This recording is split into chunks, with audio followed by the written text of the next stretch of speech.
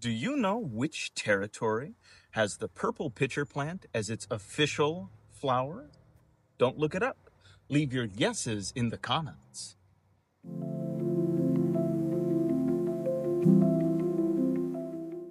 Hello, I'm Tom with California Carnivores. It's a lovely day in October, and I thought we'd take an opportunity and dive into the species complex of Sarracenia purpurea. Sarracenia purpurea is one of the more ubiquitous species, and I say this because it has the largest range in the genus.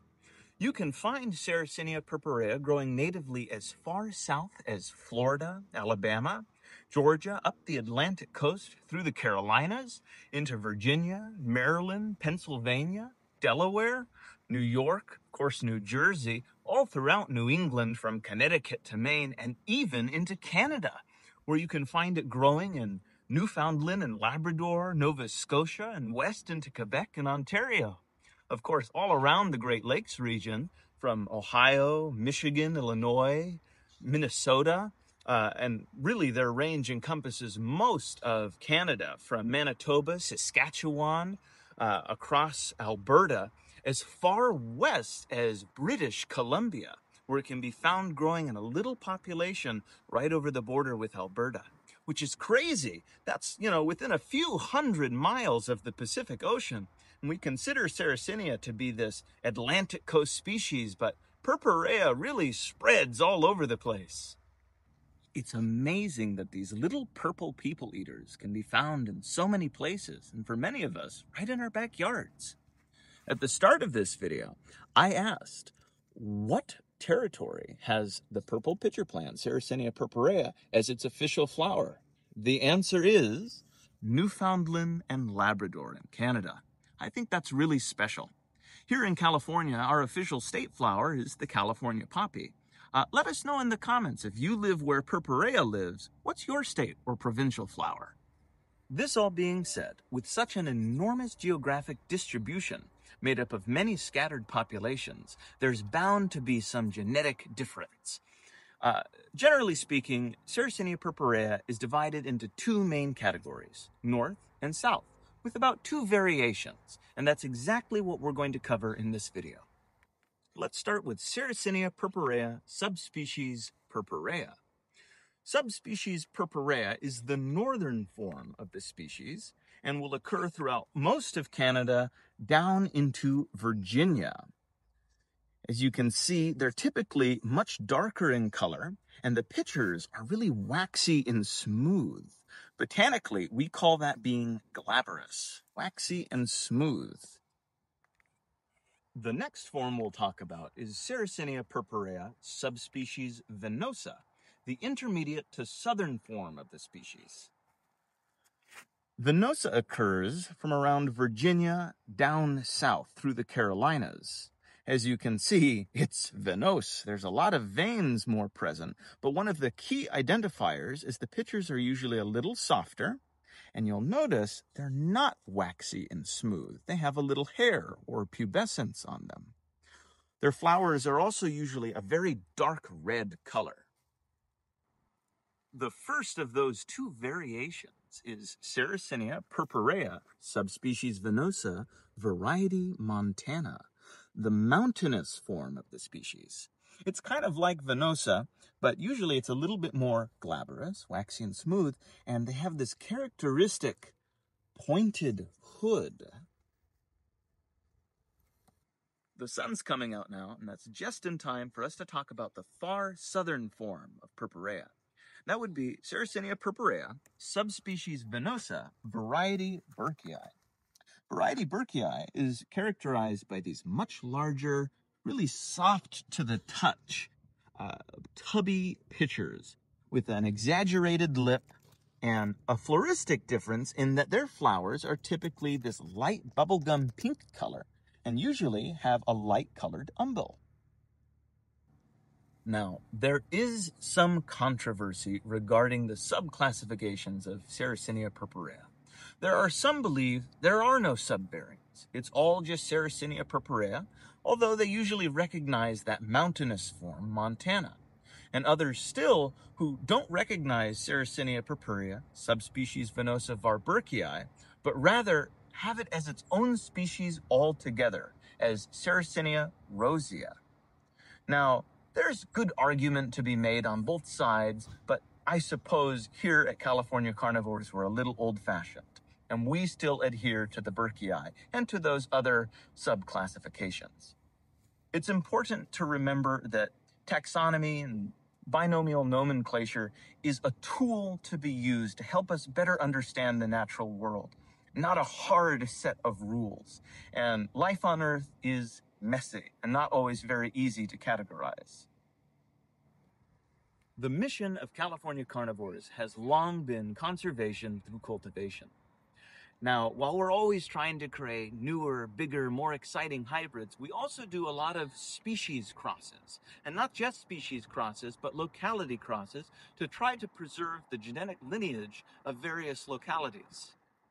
One such example are these beautiful Tattnall County, Georgia purpurea. We're fortunate enough to have a handful of these beautiful, beautiful plants.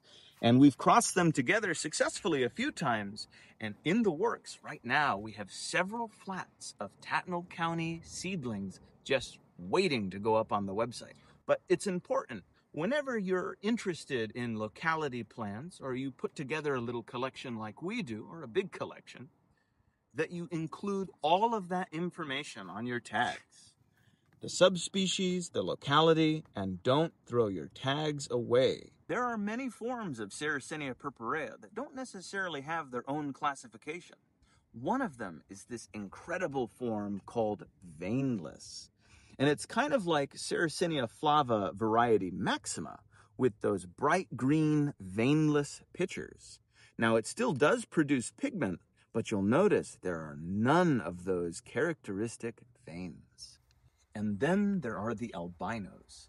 If you didn't know, Sarracenia produce their colors through anthocyanin pigments. But Sarracenia have the rare chance to sprout without any of those pigments at all. We call that mutation anthocyanin free. And Sarracenia purpurea is no different. Here I have the northern form of the species, Purpurea subspecies purpurea, and this is what we would call Forma heterophylla. As you can see, it lacks all pigment. Even where the tissue is starting to die off, there's no stress pigments whatsoever. Anthocyanin-free plants are really, really cool. If you don't have one in your collection, you need one. If only it could be so easy that all the different anthocyanin-free forms were forma heterophylla. But that's not the case. The intermediate to southern form, Purpurea subspecies venosa, its anthocyanin free form is called Forma pallidiflora. And Sarracenia purpurea, subspecies venosa variety Burkii's anthocyanin free form is Forma luteola. Sarracenia purpurea are unique amongst the other Sarracenia species in that they do not produce a lid or operculum to shield themselves from rain. Instead, they have a hood because Sarracenia purpurea like to fill up with rainwater. This helps aid their digestion process. So, if you grow Sarracenia purpurea at home, it's a really good idea to overhead water them and fill up all those tubby little pitchers. With purpurea being such a widespread genus, there's really one for everybody. So if you're way up in the frozen north, there's the northern form. And if you're way down in the south, there's the southern form. And all of them are just so easy to care for and such a rewarding plant to have in your collection. Now, as a side note, I know some of you might be curious. What the heck are these orange flowers? These are called milkworts, and they actually grow sympatrically right alongside Sarracenia in the wild. But that's a topic for another video. But while we're here, I'll show you this grotesque mutation. This really strange purpurea is called Smurf. And there aren't too many named varieties. Like I mentioned before, California Carnivores is all about conservation through cultivation. And we do a lot of ex situ conservation. That means we produce a lot of these localities or species outside of their natural habitat. And one of those localities that I've been really excited about lately is Virginia. Unfortunately, like with many carnivorous plants, their populations are dwindling, and the plants in Virginia are really few and far between. One of those localities is Reedy Creek in Caroline County, Virginia. I think they have some of the most beautiful ruffled lids. We're so excited to have these in the collection and to be able to cross these flowers together to produce more Reedy Creek, Virginia purpurea. North Carolina, South Carolina, and Georgia are home to the Sand Hill Formation. There's a lot of very cool stuff happening behind the scenes regarding the purpurea from the Sand Hill Formation. And we're really excited to be able to grow some of these localities, like this gorgeous individual from Scotland County, North Carolina. One of my all time favorite localities for Sarracenia is Green Swamp. And we're really excited to be able to finally offer some seed grown, horticulturally produced Sarracenia purpurea, subspecies venosa, from Green Swamp. One of the wonderful things about having all these different forms in our botanical collection is our ability to cross them together to produce these plants for your collections at home. And one more really exciting locality we'll have for sale very soon is our Tattnall County, Georgia Venosas. These are by far one of the most beautiful purpurea forms, and we're just so excited to finally have enough that we can offer up to the public. I hope you've enjoyed this deep dive into the species complex of Sarracenia purpurea. What's your favorite form? Mine has to be the Venosa variety Montana. There's something about those witchy pinched hoods. I look forward to reading all of your comments and seeing what your official flowers are. Thank you so much for watching.